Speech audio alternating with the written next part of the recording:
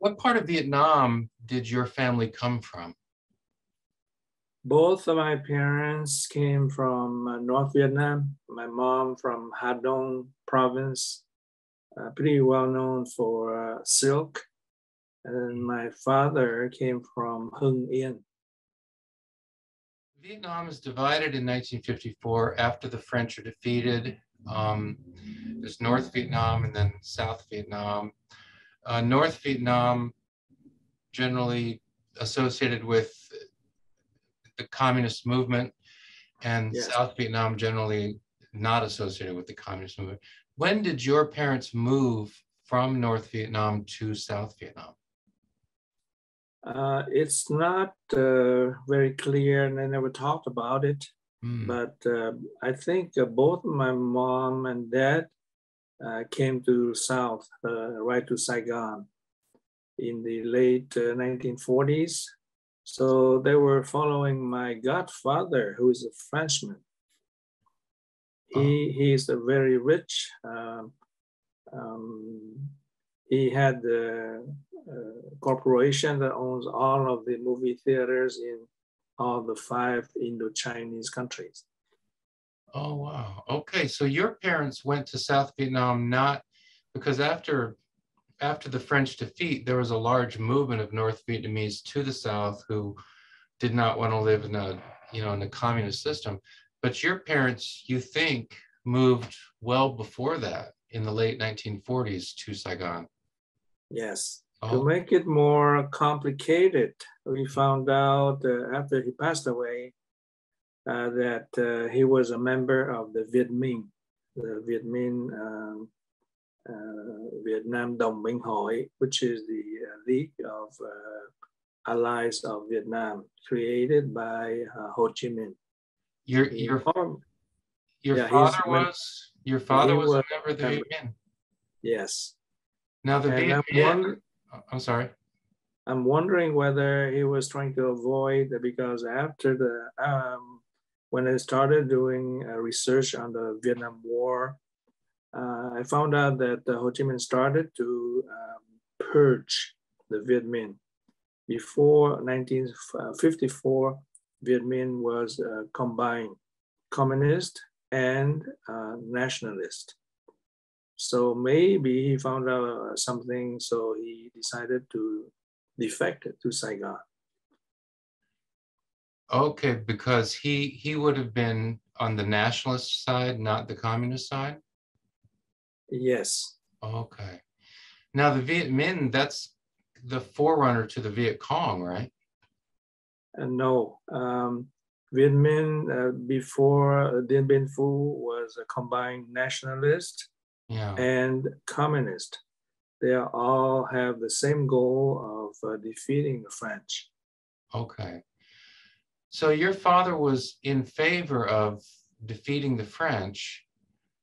Um, but it does sound complicated because your godfather was a wealthy Frenchman who owned theaters in Vietnam. It could be the other way. He might have decided uh, to collaborate with the French. And so after that, uh, I was born in 1950. So that, that was my godfather who sent me to uh, the elitist uh, lycée, Lyceum uh, High School in Saigon uh, called uh, uh, Jean-Jacques Rousseau. Wow. So everything was French. Um, and then actually, we lived in the same house, same condo with my godfather. So you don't know, it sounds like you're, it might be that your father was a nationalist opposed to the French, or that your father could have been in favor of the French, and it sounds like you're not sure which. I'm not sure. They never talked about politics. Goodness. Well, that's, yeah, that is, that is very complicated. Well, you, you got an education in a French school, uh, and all of the instruction was in French, is that right? Yes, correct. Yes. so you you get an education in a French school. The name of the school is named after this French philosopher Jean-Jacques Rousseau. Um, yes.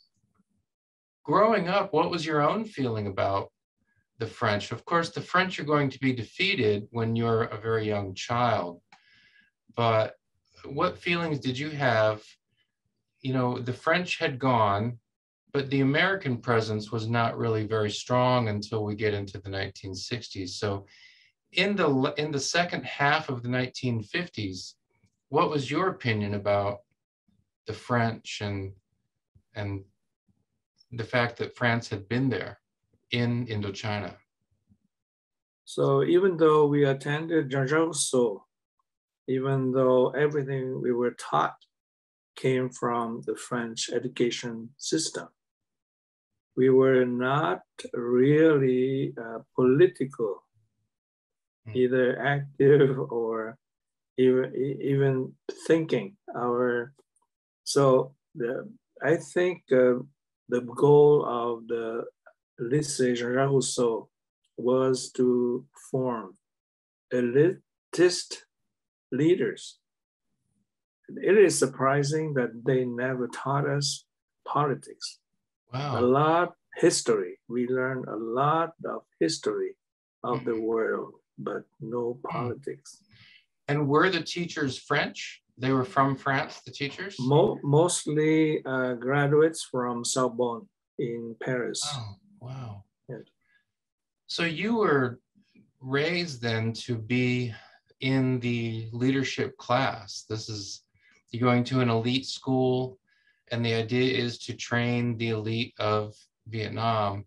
And you do become an officer in the Army of the Republic of Vietnam. And we'll um, we'll hear about that. When when did the situation in Vietnam? When did that really enter your mind? When did you really realize for the first time that there was there was a significant problem between North and South? Um, before 1968, uh, we were aware of the war. The war. We uh, saw um, uh, uh, soldiers from other countries. we saw a lot of Americans in Saigon, but we never thought that there was a war. We could, we didn't feel there was a war. Besides, sometimes we have bombardment, um, missiles being thrown at, or the uh, terrorist uh, throwing a grenade, or like the fair. We had a Saigon like, like a state fair. Yeah. And they rigged the mine to explode civilians. So we, we were aware of that. But we didn't really feel it because we were not the victims. Then, uh, not until I said 1968 was uh, could be the cutoff line because uh, that was the year of the Tet Offensive. Right. So right away, uh, as the schools were closed, right away we volunteered. I volunteered the, with these university students to go um, and uh, help rescue, help uh, clean up um, houses that were demolished. Wow. And so that was the time when we had the wake up uh, of uh, the war. We felt it and so the Tet Offensive was kind of a, a wake up call for you when you really when you realized that the you knew that there was a war, but the Tet Offensive is what really brought the war home to you. and there, there, was another situation. Um, one of the boys who lived in the condo uh, building, uh, it's still the condo uh, is now still there. Wow. Just kitty corner from the the uh, opera house in Saigon. Oh, so, near the near the cathedral and. Uh, yes, the cathedral is uh, a little bit north, yeah. more north of the, on Tudo uh, Street. Right. Yeah. So one of the boys uh, in the condo building was uh, killed at war. He was with the probably the first uh, infantry division of the uh, Army of the Republic of Vietnam. So his uh, body was uh, sent back to his parents, and there was a funeral in the building, and uh, there's no way to not see it. So whenever we come down, that we had to go pass by his coffin, and so that was probably in 1964 or 65, very early. Okay. Before the war. Yeah. Expected. Yes. so you you finished your um, your secondary education and then you went to university, right? In yes. In Saigon, and and what did you study at the university? I attended uh, two universities. There's a University of Saigon um, in science, um, math, chemistry, mineral, and organic physics. Wow. And at the same time, I went to a Buddhist university for English education. Wow. So you're attending two different universities then at the same time? Yes. Wow. And what was your goal? My uh, ultimate goal was uh, to pass the exam, the entrance exam into medical school, either that or uh, pharmacy or dental school. And I failed all of the, those exams. The only exam that I passed was the, for the Buddhist uh, University, University of Van Hanh mm. in Saigon is one of the reasons was it was the war partly responsible for you um, not succeeding in these exams? Was the war taking your energy and your time? Is that one of the problems that you had at that time? There, there were many reasons. Uh, the main reason was that uh, since I went to French school, I, I know more French uh, vocabulary and terminology and so when I took the exam, I chose French.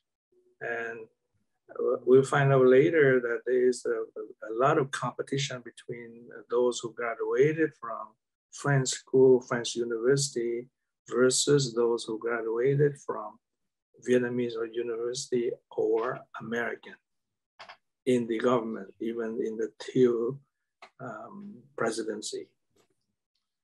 So when did you complete your university studies?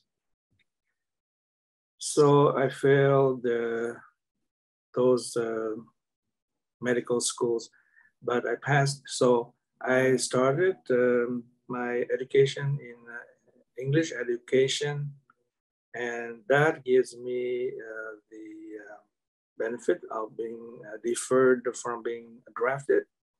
Uh-huh. So my first two and a half years were when I was civilian.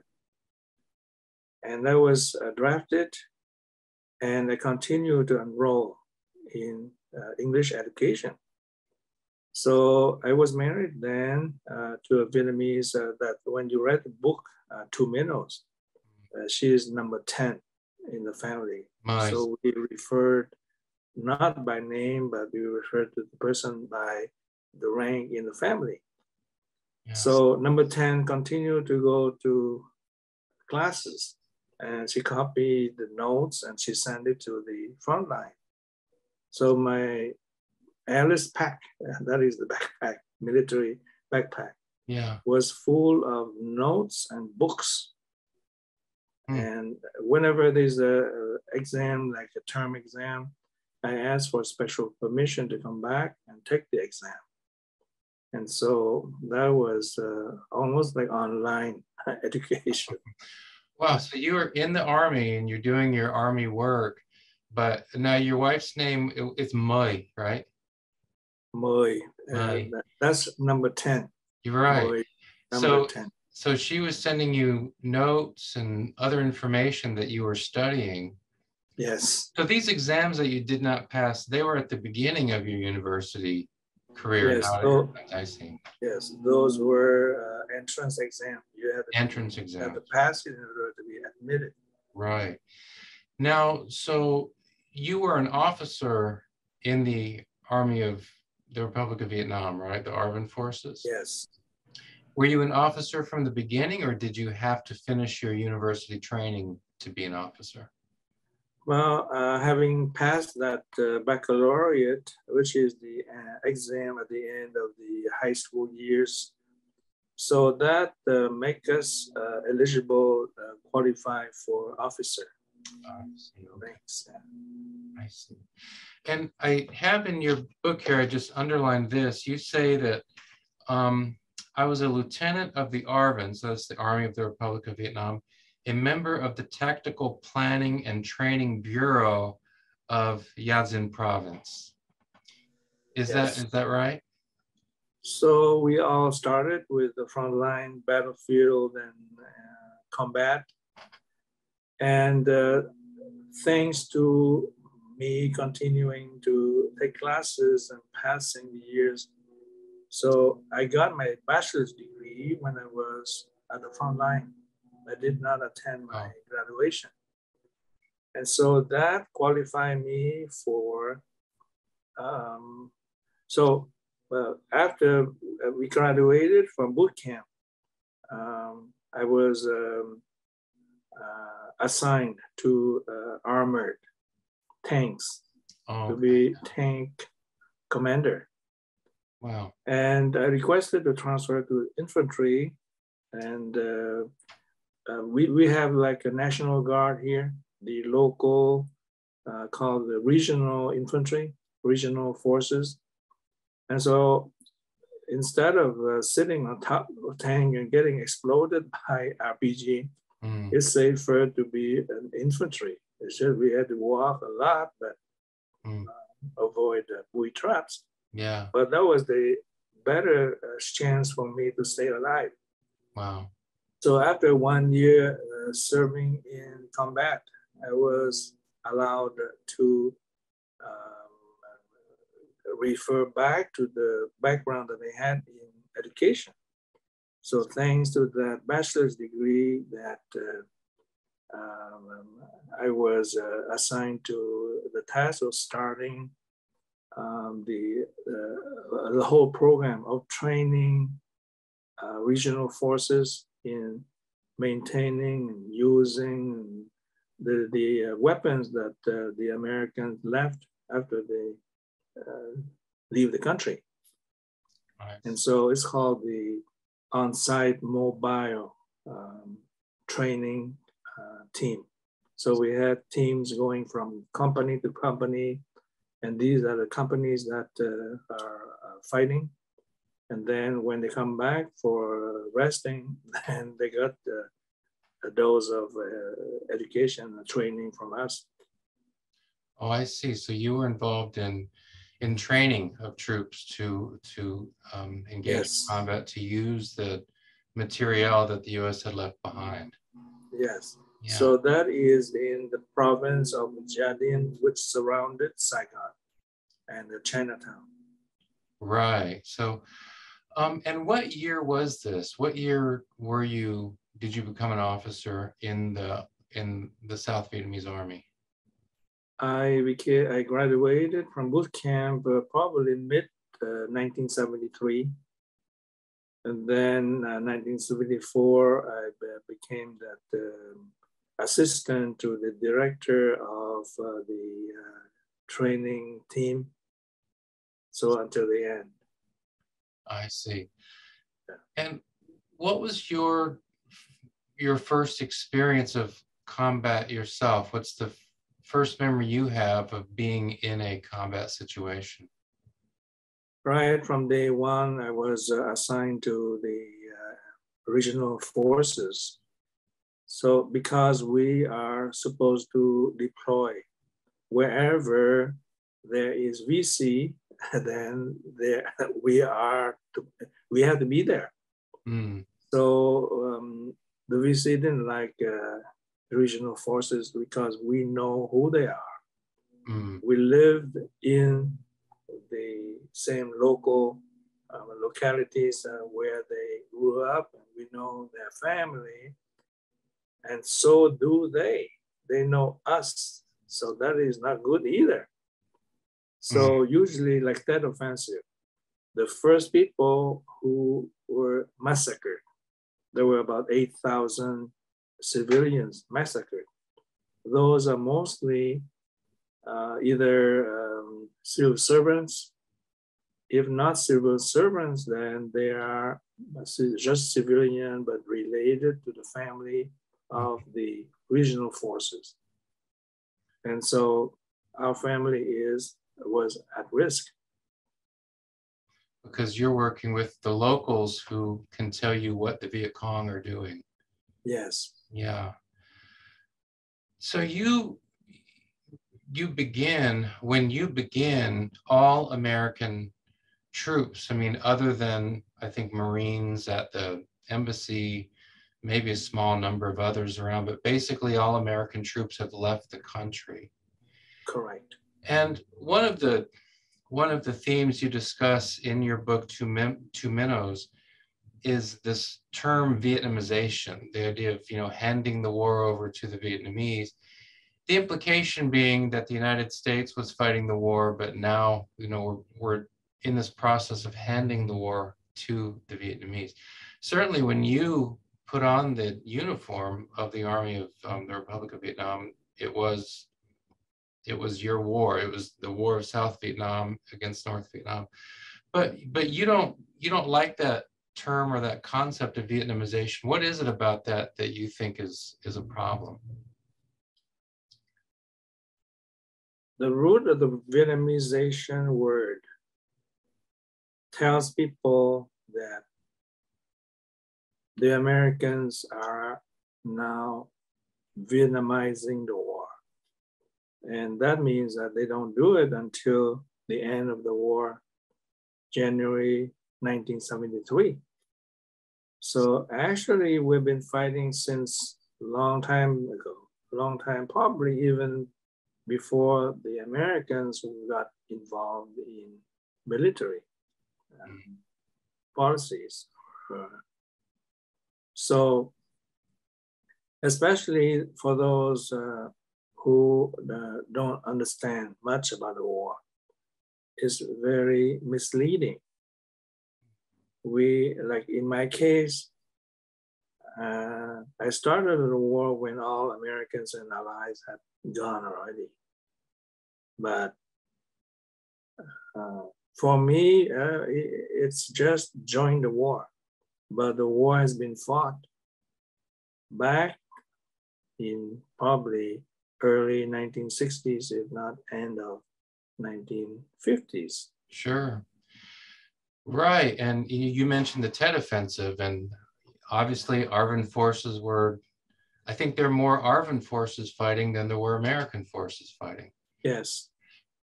Is, so, what uh, we we have to imagine that the American forces were deployed everywhere, but they are not really everywhere.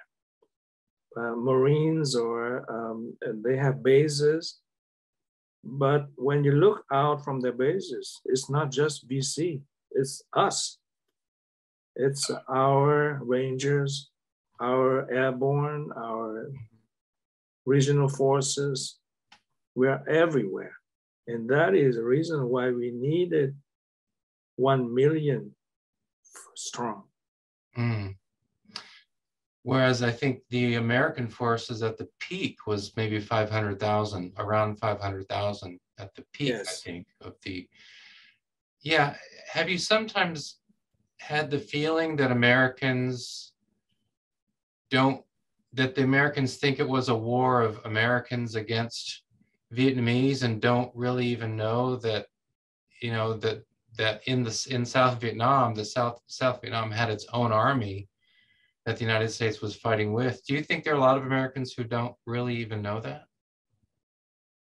Most of them uh, probably never saw the uh, ARVN in action, or sometimes uh, only the advisors, because uh, the units, the ARVN units, were assigned an advisor. So those for sure have seen the ARVN in action. Right. But uh, a soldier, any soldier, the only thing they saw uh, during the time they spent in Vietnam was the, the jungle. yeah. like my friend, I had a friend who um, um, he's also a principal, high school principal in Wisconsin. He uh, he never been he has never been to Saigon.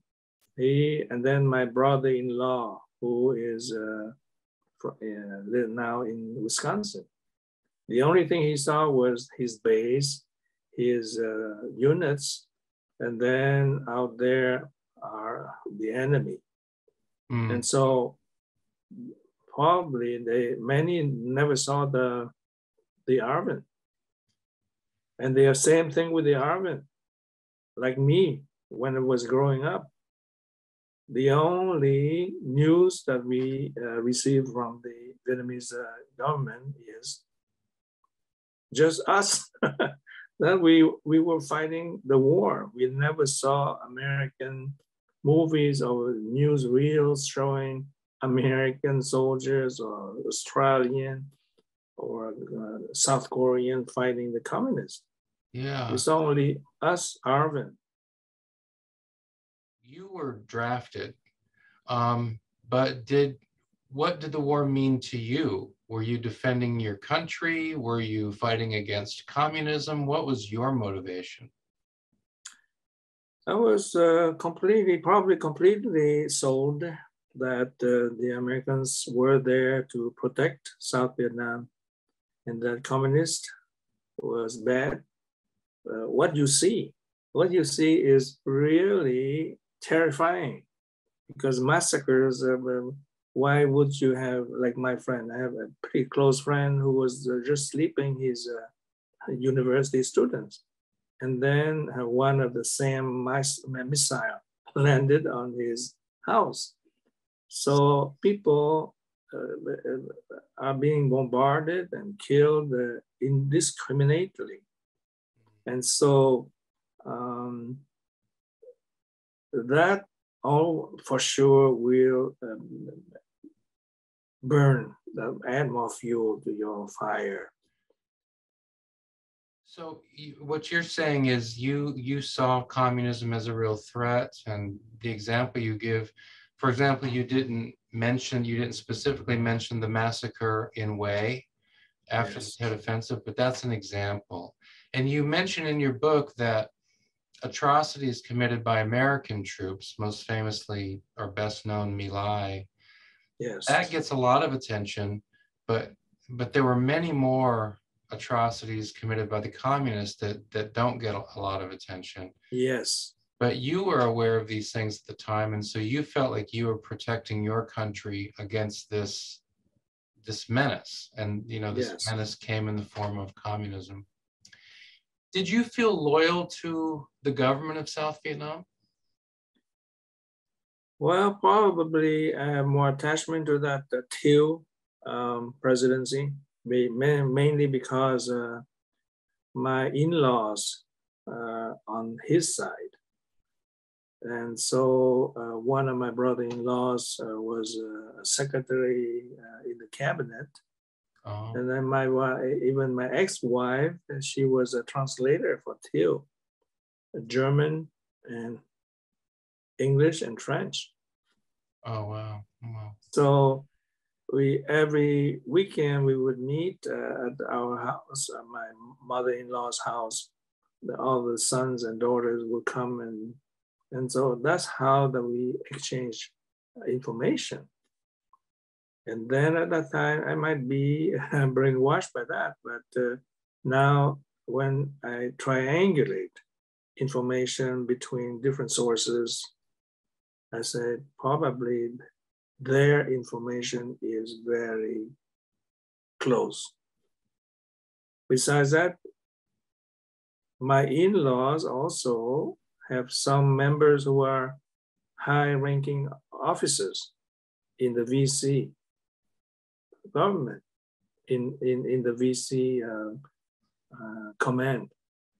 And so that anniversary is a very important event. So whenever there's a death anniversary of uh, our father, then we get together and there we go. We have the two sides sitting facing each other. Uh, on one side, Thieu's on the other side, uh, the VCs, and then maybe they change the curses each other, but uh, we get some information from them too. The, the way they react. So that is that makes the war very difficult for Americans and for the Allies to understand. It's uh, the Civil War. That's why maybe uh, the Americans call that Civil War, but we we avoid that word. Civil War is a war between two separate countries. Mm. Now, did you know at the time that there were family members that, that had relatives who were with the Viet Cong? Yes, I, I knew it. Oh, it's so complicated. Yes. Oh, wow. Now, by early 75, it's clear that South Vietnam is not going to, to win the war.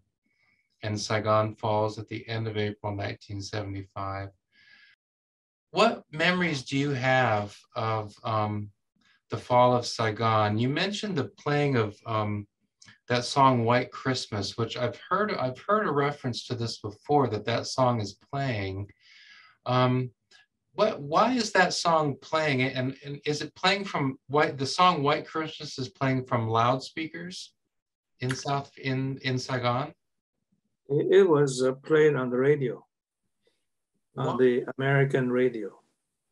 And the song, sing, was, the song was just playing over and over again? Over and over and over. So to alert the um, American and probably the Allies that uh, their last chance to leave would be, oh. yes. So that the, the war is ending and then they all have to go to the rendezvous uh, points. So I remember there were about 12 rendezvous points.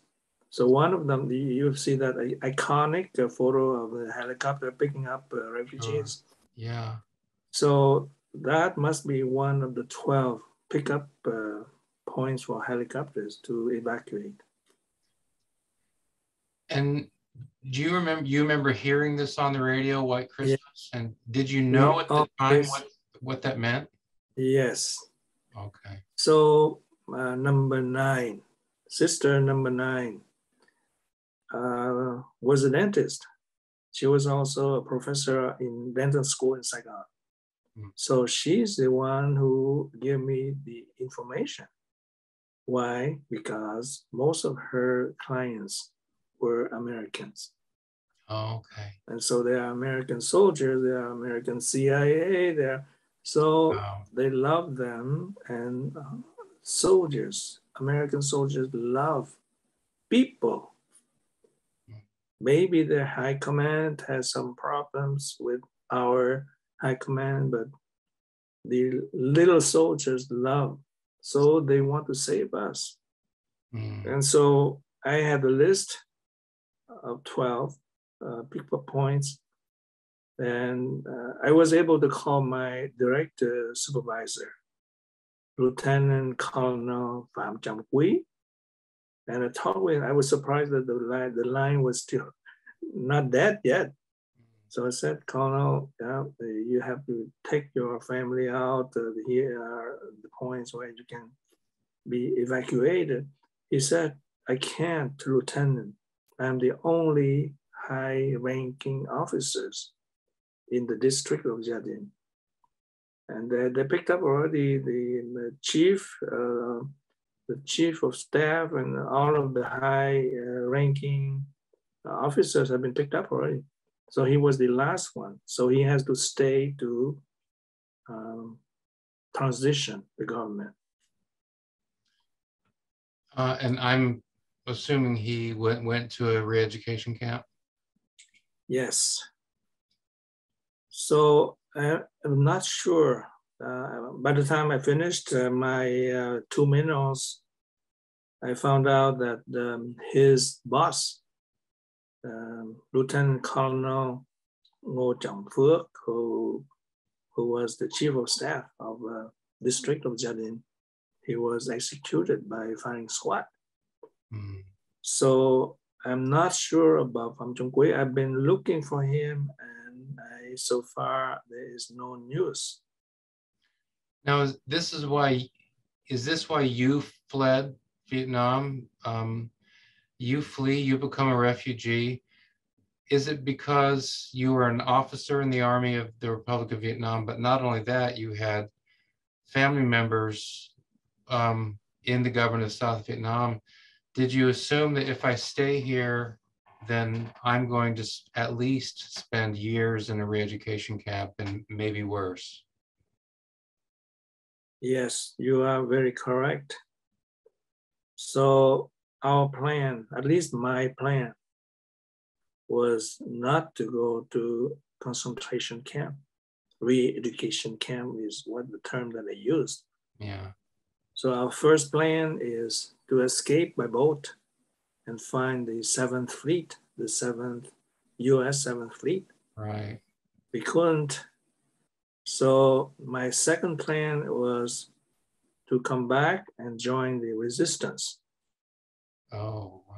Yeah. And my third one that I never told my ex-wife was to go home and get my grenade and we all die together. Wow. So that was funny that when my mother-in-law, when she was able to come and join us in Wisconsin, she asked, why, why did you hide that grenade mm. on top of the outhouse? Mm. But you had it there in case you weren't able to get out. You would rather, yeah. you so luckily, you would rather die than, than fall into yeah. the hands of the communists. Because uh, um, for sure my wife, my, my ex-wife, uh, she'll be executed for being the translator for President Thieu. For the Thieu government. Now, when did you actually leave Saigon? Saigon falls on April 30, 1975. Were you in Saigon on that day? I was in Saigon. I was uh, um, Two Minnows um, uh, tells people that uh, we were looking for a way out on the day of the 30th of April. We, we drove, uh, we, we rode our motorcycle to go again, probe, see if the, there's a good way, safe and good, uh, for sure, that we, we would be uh, able to escape. And so we saw lots of uh, looting and lots of um, uh, collaborators. You, you, can't imagine how many collaborators um, are on the street. Um, maybe they are pretending so that the VC won't pay attention. And sometimes my ex-wife and I, we applauded and we hollered, uh, thank you, thank you, comrade, um, just for the sake of avoiding their attention. 30th of April, we were still at home. We waited until the night, and then we took advantage of uh, the VC and the NVA being new to town. Uh, it's Saigon is huge for them. They were all looking the, up at the high rises, and they were because they never saw high rises before. Mm. So we took the advantage of them being naive and um, still uh, finding out their way in Saigon. So we snuck out of Saigon. Wow. So in Saigon, before you know, before we get on the boat and leave Vietnam, in Saigon you saw a lot of looting. You saw people who were helping the North Vietnamese and the Viet Cong, and then you yourself, you you say in the book, and you just said here, you also would pretend if you needed to get through a checkpoint or something, you would pretend that you were glad that the North Vietnamese were in Saigon. Yes. Do you, do you remember hearing the, of course, when Americans think of the fall of Saigon, they think of the helicopters um, coming in, getting people from the American embassy, getting Americans from other places. Do you remember any of that? Do you remember seeing and hearing the helicopters coming and going? Um, these American yes. helicopters wanted to get people out? So at that time, uh, it was before noon. So we were riding our scooter around to um, to check the gate of the embassy to see if there's a way for us to join the climbing the, the climbing victims, uh, refugees. Oh, right. So you went you went to the embassy. So you were part of yeah. that crowd there at the American embassy trying to get out. But we, we did not leave our motorcycle. We just circling around, mm. uh, spy to spy to probe, see if it's uh, visible um, um, to join the group. But we decided not to, and then so that was uh, when um, uh, the, uh, the um, interim president of South Vietnam, Big Minh, he uh, declared the surrender. And so the looting started. They broke into the, the, the embassy and um, we did see a couple of uh, Americans, probably Americans because uh, he was crying while riding his scooter, uh, looking for a way into the embassy, but he was too late. He missed the last helicopter. Wow. So after that, we decided to ride our scooter to the Saigon harbor. And then and then from there, we saw no way out. So we rode, we came back home, left the scooter at home, and then rest up a little bit, and then decided to go again to the Saigon Harbor. So that's when we were on the street walking. And now, did you leave from Saigon Harbor or did you go down to the Delta, to the Mekong Delta to, to get the boat out? we actually uh, went to Rach Gia, which is the um, um, other point where uh, the uh, in southern um, uh, of Vietnam. So we found a shrimp boat there, and we looked for more people who would uh, want to join us because uh, the skipper is not going to take just the two people and so luckily, um, we found 60 more wow. to join. And so you get on a shrimp boat, and what is your destination? Nowhere. Mm. We were we we are aiming at the uh, Navy, the U.S. Navy, the Seventh Fleet. Trying to find an aircraft carrier or some American ship yes. out there but we found no ship. Every ship was gone. And then we said, oh, that's really the end.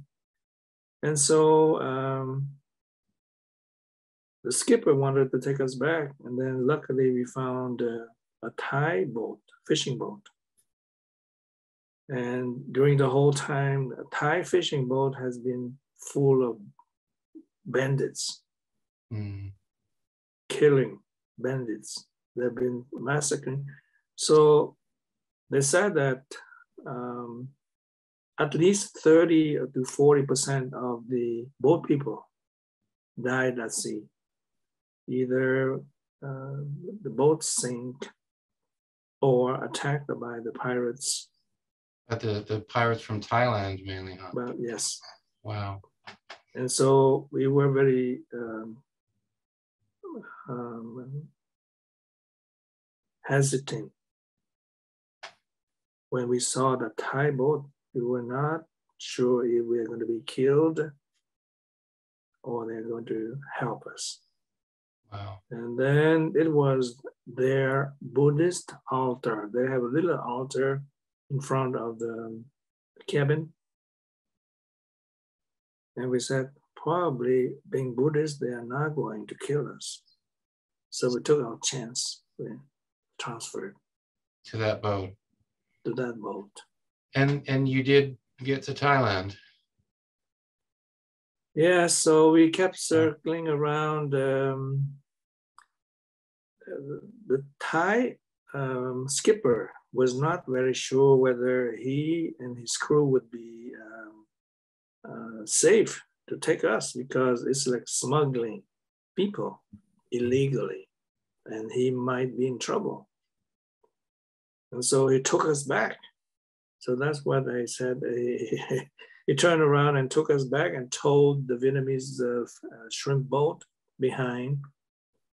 And uh, that was to return us to Vietnam so that uh, they don't have to face uh, the Thai government. But we, we, we were thinking about commandeering the boat. And uh, the Thai, the, the Vietnamese skipper cut off the rope and disappeared. And uh, we told the Thai skipper, if uh, you take us to Vietnam, we will all be executed. And yes, they execute. We heard that uh, on the way out. Wow. They execute not just us, but they will also execute all of you. So he changed his mind and took us back to Thailand. Wow. And so you spend some time in Thailand, and then from there you go to Malaysia. Yes. And you, I remember reading in the book that you have interaction with, I think, people who had connections to embassies. And and then people from the embassies came out and and talked to you. You're there in in Malaysia. I think you're living under a tarp, basically. Is that right? You have a tarp and you're living under a tarp and so that that didn't happen until Malaysia. Right, yeah. So the Thai government told us to uh, lie. They, they said that you guys all have to go to Singapore because that is where the Seventh Fleet is. They will pick you up. The American Navy, basically. They, yes. So the, the So Thai government told you to go to Singapore to get to pick up the American Yes. Navy. Oh, They are afraid. They, they have a high, high fear of the Vietnamese new government to make their Thailand, the country Thailand, the next uh, target. And Mm. so they try to get us out of the Vietnamese refugees. And so we took another Vietnamese uh, boat. This one is bigger, but out of 10 engines, only one or two were still working. wow. So we just uh, went along the, uh, the coast and then we were stopped by the Malaysian Coast Guard. That's how we ended up you know, on uh, the uh, Malaysian uh, co- uh, island of uh, Pulau Perhentian. The tarp was gift from the people of Thailand. Oh, I see. Okay. So in Malaysia, then you put up that tarp and you live under this tarp. And how long are you, are you in, how long are you in Malaysia? We were there probably uh, five or six months. The first five months, we were all exposed to the elements. Thanks to the tarp, then we we stayed dry, and then we had another piece of tarp uh, as a floor, but we were exposed. We- had no roof, no food. The food was uh, uh, spoiled uh, rice. So the, the reason why I named the book Two Minnows is because we received two dry minnows every day for lunch and for dinner Hmm. And that went with the rice. with the rotten rice. Yeah. And so eventually, you know, word does get to embassies of different countries, I think Canada, Australia, France, United States. You apply, if I remember correctly, you apply for refugee status in France and the United States. I think you're accepted in both and you you choose to to come to the United States. When did you arrive in the United States? I left uh, Vietnam. I left Saigon uh, in the night of uh, April 30th. So five days later, May probably May 3rd or 4th or 5th, I left Vietnam for good. Hmm. And we stayed there until and uh, until October. I remember vividly because uh, we celebrated my birthday in October in Minneapolis. So it took uh, almost five months. Wow. And you you arrive or you settle in in Minnesota and get into education and then eventually become a principal of a school, is that right? Yes. Wow. So um, I continued to go to school. Uh, thanks to the bachelor's degree diploma that I brought from Vietnam, that I got my first job right away, uh, coordinating um, the ESL and bilingual program from Minneapolis. And then I continued to go to school and get my master's degree, my principal's license, and uh, my EDD doctorate in education. Wow. Yeah. When was the first time you went back to Vietnam? So I got married uh, to uh, my uh, second wife uh, July 15th, 2001. So 2001, we went back. That was my first time going back. Hmm. Were you our honeymoon? Yes. for your honeymoon? Did you go to Saigon or Da Nang or where did you go? So I did go to Saigon to visit uh, my brother. And then we went to Hue to see what uh, what's new with Hue because Hue was probably the city that was uh, neglected by the new government. Mm. And indeed, it, it was neglected. It was so dusty and Mhm. everybody was so poor, not like today. Not like today, yeah. Yeah. Were, were you nervous when you went back to Vietnam for the first time? Yes, when we clear customs, we had to go through customs, and they, uh, the guy who checked my passport um, was uh, probably a lieutenant um, or captain of uh, the NVA, Hmm. and he looked at me. I looked at him, and probably we were thinking about the same thing. Probably we fought each other during the war.